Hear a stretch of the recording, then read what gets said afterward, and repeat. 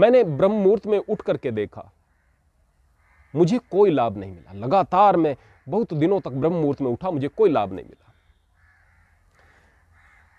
अगर इसको हम दूसरे तरीके से कहें कि मैं लगातार स्कूल गया, लेकिन मुझे पढ़ना लिखना नहीं आया। क्या स्कूल में जाने से ही आप लोगों को पढ़ना लिखना आएगा? नहीं। आप अध्यापक की बात को सुनेंगे, किताब को पढ़ेंगे, होमवर्क को करेंगे, तब जा के आपको स्कूल में जाने का लाभ प्राप्त होगा। गाँव में एक बच्चा था। उस बच्चे की एक दिन उसके पिताजी ने बड़ी पिटाई की। तुम स्कूल में नहीं जाते हो। सभी बच्चे स्कूल जाते हैं, पढ़ते हैं। अगले दिन रविवार था। रविवार के दिन बच्चे ने बैग उठाया और स्कूल की तरफ़, गाँव में सरकारी स्कूल की तरफ़ चल दिया। अब गाँव में कुछ बड़े बुज़ुर्ग थे। उन्होंने कहा कि बेटा, आज स्कूल क्यों जा रहे हो? आज तो रविवार है। आज तो स्कूल बंद है कि कोई बात नहीं, मैं तो बरामदे में बैठ जाऊँगा।